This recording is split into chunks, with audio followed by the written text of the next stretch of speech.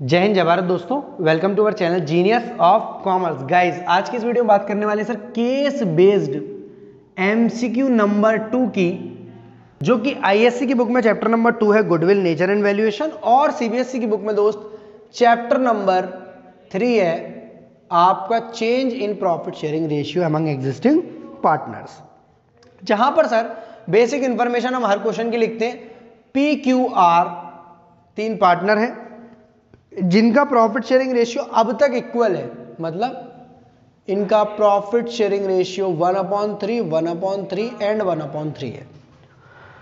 Are start कर रहा है एक नया बिज़नेस इस वजह से अपने इस बिज़नेस में टाइम नहीं दे पाएगा और इस बिज़नेस में टाइम नहीं दे पाएगा, इसलिए पी और क्यू ने बोला है कि सर, आप जो है अपना शेयर कम कर लीजिए, आपको वन अपॉइंट फाइव मिलेगा और हम दोनों को टू अपॉइंट फाइव मिलेगा। सर, ऐसा कहाँ बोला? उसमें तो सिर्फ़ ये लिखा है कि R was unable to devote any time in the existing business, they decided that R will get one fifth share in the future profits उसमें तो सिर्फ़ आर की बात करी आपने इनको टू रेशियो टू वन कैसे दे दिया?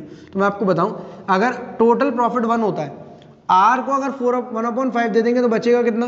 फोर अपॉइंट फाइव और फोर अपॉइंट फाइव को भाई लोग कितना कितना बांटेंगे? इक्वली समझ आ रही है? इस तरीके से मैंने डायरेक्टली लिख दिया। टू टू जा four two upon five two two जा फोर टू अपॉइंट फाइव ये इनका ओल्ड रेशियो हो गया ये न्यू रेशियो हो गया। अगर चेंज से रिलेटेड कोई कॉन्सेप्ट में काम आएगा तो हम इसको आगे बात करेंगे अदरवाइज़ इसकी कोई ज़रूरत नहीं है।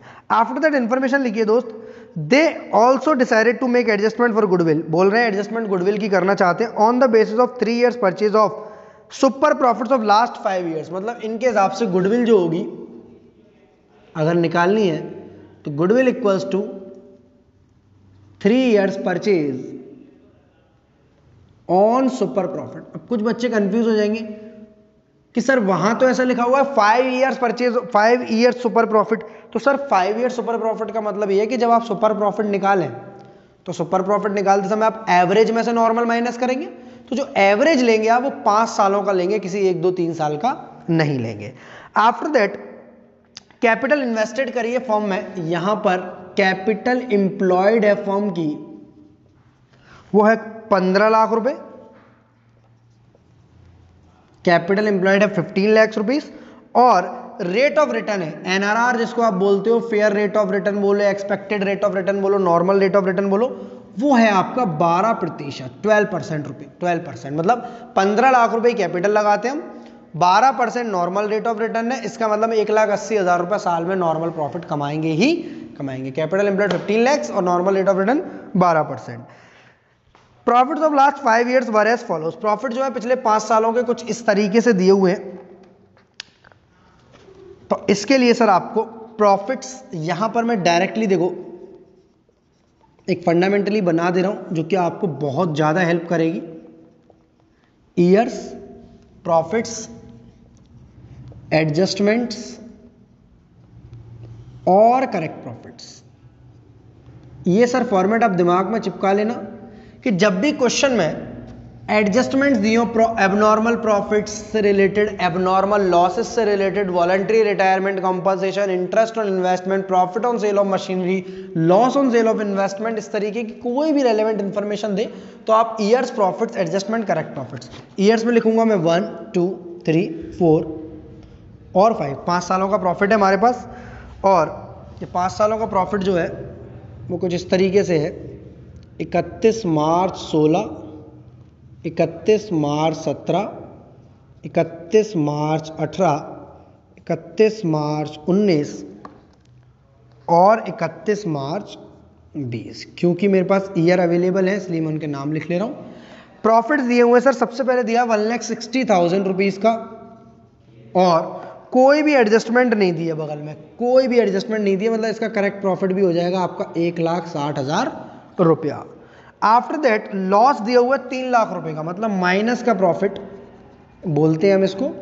इसमें भी कोई एडजस्टमेंट नहीं दिया तो इसको भी सर लिख लेंगे माइनस का three lakh rupees after that sir चार लाख साठ हज़ार रुपए का प्रॉफिट दिया हुआ है आपको थर्ड ईयर का ईयर थ्री का, जहाँ पर इंक्लूड है एबनॉर्मल गेन तो सब बच्चों के माइंड चल रहे होंगे। सर एबनॉर्मल गेन है तो बताओ प्लस करूँ या माइनस करूँ? सर एबनॉर्मल गेन को तो माइनस करते हैं हम। क्योंकि ये ऑलरेडी इसमें जुड़ा हुआ है, हमें इसको हटाना है और हटाने की सबसे बड़ी वजह क्या है? मैंने कॉन्सेप्ट नंबर थ्री में बताया था, जिसकी वीडियो का लिंक मैंने सारे डिस्क्रिप्शन में डाल रखे कॉन्सेप्ट वीडियोस के लिंक बहुत आसान है। सर एबनॉर्मल गेन हमारा वो गेन होता है जो कभी हो गया हो। हमारी लॉटरी इस साल लगी है हर साल लगेगी नहीं, और लॉटरी लगने के पीछे हमारी कोई मेहनत तो है नहीं। कि ज़्यादा मेहनत करो, ज़्यादा लॉटरी लगेगी। हम तो प्रॉफिट जो गुडविल के लिए निकालते हैं यहाँ पर, वो मेहनत वाले प्रॉफिट होने चाहिए। हमारे बिज़नेस में जो हमारी मेहनत लगी है, ये किस्मत वाले प्रॉफिट हैं तो ये किस्मत वाले प्रॉफिट का हमारा यहाँ कोई काम नहीं है। तो चार लाख साठ हज़ार में से हम साठ हज़ार का एबनॉर्मल गेन हटा देंगे माइनस कर देंगे तो आपका करेक्ट प्रॉफिट हो जाएगा दोस्त four lakh rupees after that 2019 का प्रॉफिट दिया हुआ दोस्त, चार लाख रुपए का फोर लाख रुपीज़ का। और जहाँ आपको एडजस्टमेंट दी है, चालीस हज़ार का एबनॉर्मल लॉस चालीस हज़ार का एबनॉर्मल लॉस का मतलब क्या है? आपकी फैक्ट्री में आग लग गई. अब ये आग हर साल तो लगेगी नहीं. ये जो आग है, वो हर साल लगेगी क्या? नहीं. अगर ये आग नहीं लगी होती तो प्रॉफिट कुछ हमारी मेहनत वाले ऐसे होते, चार लाख चालीस हज़ार के. अगर ये आग नहीं लगी होती अब नॉर्मल लॉस नहीं होता तो हमारे प्रॉफिट चार चालीस के होते बट ये आग लग गई, अब नॉर्मल लॉस हो गया तो हमारे प्रॉफिट कम हो गए। हमें प्लस कर कर वापस से उन्हें सही जगह पर लेकर आने हैं। आफ्टर दैट आपका सर 2020 का प्रॉफिट दिया हुआ है तीन लाख रुपए। कितना दिया है? तीन लाख, और इसमें भी कोई एडजस्टमेंट नहीं दी है। तो हम इसको भी लिख लेंगे तीन लाख रुपए। इस तरह आपके पाँच सालों के प्रॉफिट्स हैं, जिनका आपको एवरेज निकालना होगा देन नॉर्मल माइनस कर कर सुपर निकाल कर गुडविल निकाल देनी है। तो सर, सिंपल सा कॉन्सेप्ट है। सबसे पहले हमने किया क्या प्रॉफिट्स लिख लिए। एडजस्टमेंट का कॉलम बना लिया, क्योंकि अगर एबनॉर्मल लॉस है तो प्लस और एबनॉर्मल गेन है तो माइनस नॉन ऑपरेटिंग लॉस है तो प्लस नॉन ऑपरेटिंग इनकम है तो माइनस कैपिटल को रेवेन्यू वाला सारा कॉन्सेप्ट मैंने बता रखा है। जब जब रेलेवेंट क्वेश्चन आएँगे, बताऊँगा। सबके वीडियोस लिंक डिस्क्रिप्शन में दिए उसके बाद तो आपको कमाल, मक्खन, मलाई समझ में आएगा एकदम। एक बार आपने वो कॉन्सेप्ट वीडियोस कर ले दो। सिंपल सा कॉन्सेप्ट है। प्रॉफिट प्रॉफिट जोड़ दो। लॉसेस को घटा दो। ये एक लॉस है, तीन लाख का। यहाँ कोई एडजस्टमेंट नहीं थी तो एक्जैक्टली सेम लिख दिया मैंने। ये लॉस है, इसको माइनस करो प्रॉफिट को लिखो। चार लाख, आठ लाख, आठ चालीस, ग्यारह चालीस, बारह लाख, तेरह लाख। तेरह में से तीन गए, दस लाख। पाँचों सालों के प्रॉफिट हो जाएँगे आपके दस लाख रुपए। और आपसे पॉइंट नंबर वन पूछ रहा है दोस्त average maintainable profits average maintainable मतलब ये दस लाख रुपए का जो प्रॉफिट्स हैं मेंटेनेबल वर्ड दोस्त तभी आता है यहाँ पर, ये वाली चीज़ें मेंटेनेबल नहीं थी। मेंटेनेबल मतलब भाई हर साल तुम्हारी लॉटरी नहीं लगेगी ना, हर साल तुम्हारी दुकान में आग लगेगी। तो अगर हर साल आपकी लॉटरी नहीं लगेगी, हर साल आपकी दुकान में आग नहीं लगेगी तो ऐसे लॉसेस को हम एबनॉर्मल लॉस बोलते हैं और इनको माइनस करने की ज़रूरत नहीं है, इनको प्लस कर दो। और ऐसे गेन्स को एबनॉर्मल गेन बोलते हैं, इनको प्लस करने की ज़रूरत नहीं है, इनको माइनस कर दो आप। समझ आ रही है बातें? टोटल प्रॉफिट है आपका दस लाख तो एवरेज मेंटेनेबल प्रॉफिट्स निकलेंगे आपके। इनको एएमपी बोलते हैं। दस लाख रुपए में दोस्त आप कितने का डिवाइड करेंगे? बताना, एक, दो, तीन, चार, पाँच सालों के प्रॉफिट्स हैं। चार का या पाँच का? सर, ये कैसी बात है? बचपन से हमें पता है, जितनी चीज़ों का एवरेज होता है, उतना हमारा एवरेज मेंटेनेबल प्रॉफिट्स आएगा आपका दो लाख रुपए। यहाँ पर ऑप्शन नंबर ए में दस लाख ऑप्शन नंबर बी में तीन बीस ऑप्शन नंबर सी में दो लाख और ऑप्शन नंबर डी में दो लाख आठ हज़ार। तो करेक्ट ऑप्शन है हमारा option number C point number two की तरफ़ चलते हैं। जहाँ हमसे पूछ रहा है normal profit of the firm last question में भी यही पूछा था। बताइए किन किन बच्चों को नॉर्मल प्रॉफिट का फॉर्मूला याद है? और याद है तो वीडियो को रोके कमेंट को ठोके और फॉर्मूला वहाँ लिख दें। Sir normal profit equals to capital employed into normal rate of return N R R जैसे ट्रिपल आर आई थी ना, ऐसे एन आर आर आई है। ठीक है normal rate of return upon hundred capital employed दोस्त दिया आपको पंद्रह लाख और नॉर्मल रेट ऑफ़ रिटर्न दिया आपको बारह परसेंट तो फिफ्टीन लाख रुपीज़ में आप ट्वेल्व परसेंट का इंटू करेंगे। तो ये आ जाएगा आपका एक लाख अस्सी हज़ार रुपये तो नॉर्मल प्रॉफिट कितना आ रहा है दोस्त? एक लाख अस्सी हज़ार रुपये पॉइंट नंबर ए एक लाख बीस हज़ार। पॉइंट नंबर बी तीन लाख। पॉइंट नंबर सी तीन लाख बीस हज़ार। और पॉइंट नंबर डी एक लाख अस्सी हज़ार इज़ योर करेक्ट आंसर एक लाख अस्सी हज़ार is your correct answer point number three की तरफ़ चलते हैं दोस्त। Value of goodwill of the firm सीधे गुडविल पूछ रहा है, सर, हमें तो सुपर प्रॉफिट बताना चाहिए था। सर, वो पूछ ही नहीं रहा आपसे। तो goodwill equals to goodwill equals to super profit क्यों सर? हमें तो वो याद है average profit into N R R upon hundred या super profit into N R R upon hundred या average profit into number of purchase year यही क्यों?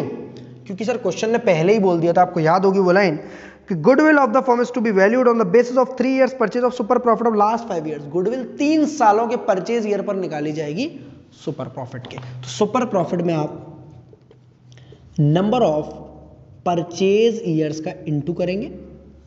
सुपर प्रॉफिट आपका दोस्त कितना आएगा सर? एवरेज में से नॉर्मल एवरेज है दो लाख. यहाँ फॉर्मूला ज़रूर लिखूँगा मैं. क्यों लिखूँगा?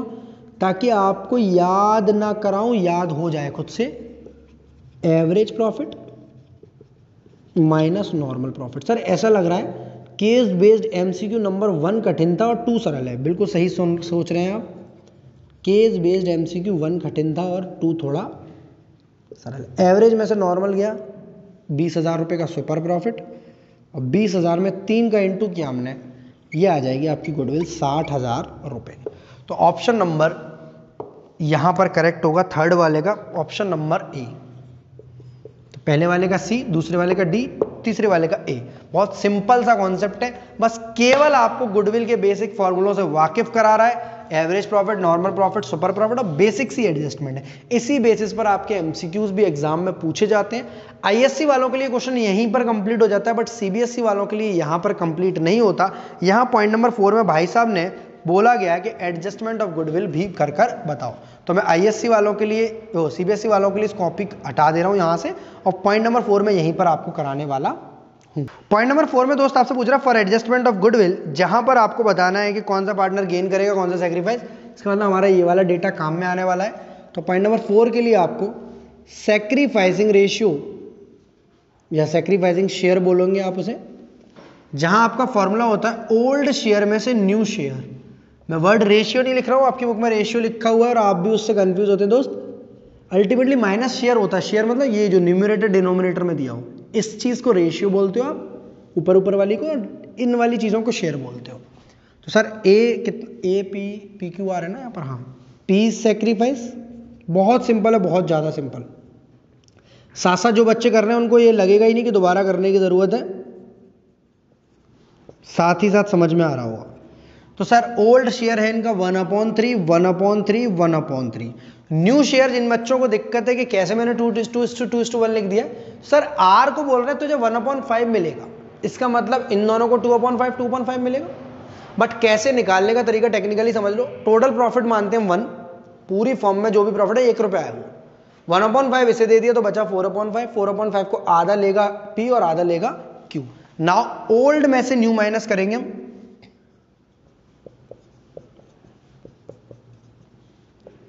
और कुछ इस तरह आंसर आएगा आपका दोस्त फाइव थ्री या फिफ्टीन फाइव वन या फाइव फाइव में से सिक्स गए। माइनस का वन अपॉइंट फिफ्टीन इसका मतलब ये गेन है दोस्त। पी भैया हमारे डेबिट होंगे ही होंगे।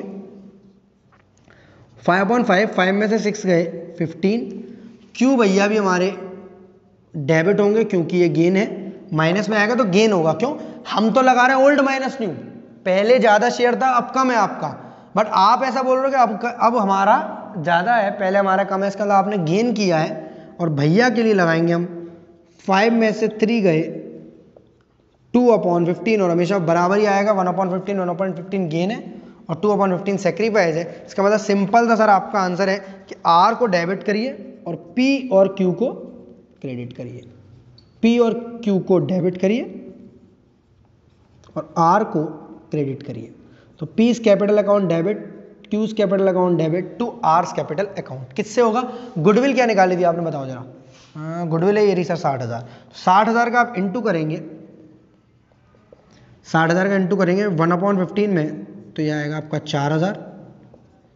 चार हज़ार और ये आएगा आपका आठ हज़ार रुपये चार चार हज़ार रुपये से डेबिट होंगे। सिंपल कैलकुलेशन एकदम सिंपल कैलकुलेशन साठ हज़ार में इंटू वन अपॉइंट फिफ्टीन साठ हज़ार में इंटू वन अपॉइंट फिफ्टीन साठ हज़ार में इंटू टू अपॉइंट फिफ्टीन तो ये आएँगे आपके आठ हज़ार रुपये से।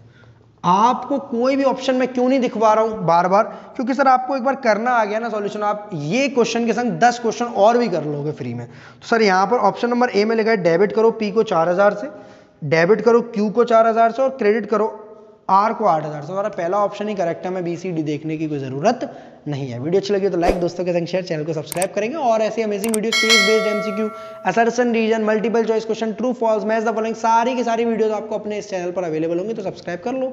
और जीनियस ऑफ़ कॉमर्स अब तक डाउनलोड नहीं किया तो डाउनलोड करो। Our Sunday free of cost test है आप लोगों के लिए। Thank you to all of you भी हैप्पी ऑलवेज